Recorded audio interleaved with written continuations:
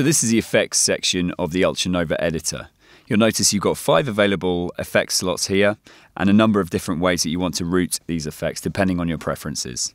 So as I mentioned, when you set up Reverb 1, you can't then set up Reverb 1 in slot 2 or 3 or 4 or 5.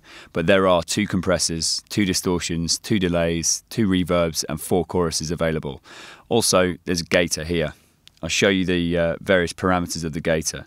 The edge slew, the hold which makes um, the effect a little bit more subtle or more obvious and delay here. It's best to play with these yourself just to get used to them. To turn off an effect, simply click on bypass here. So I'm going to set up a compressor.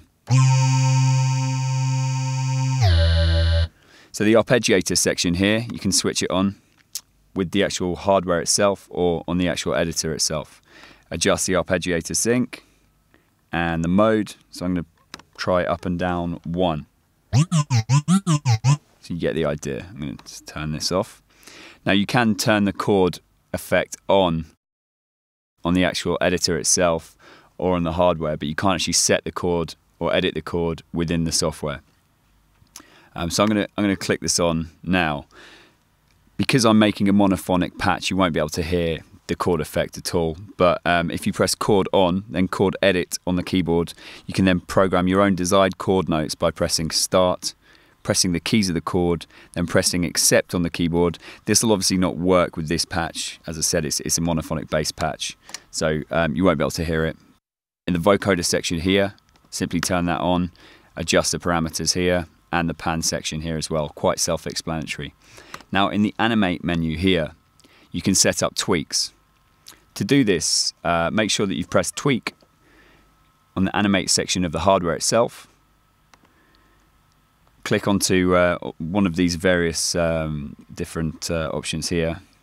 So I'm going to adjust virtual sync depth of oscillator 3 with knob 1. So click on the knob and then move the knob itself and it'll assign. So you should be able to hear this.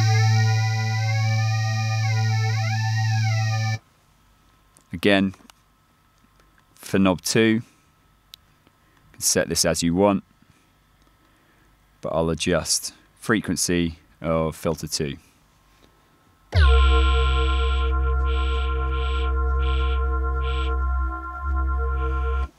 And so on and so forth.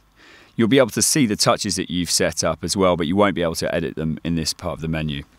As you can see, there are many fun and engaging effects, oscillators and envelopes to be controlled in the Ultranova editor. I've only just barely touched on these in this video, but you can get an idea of the depth that this can go.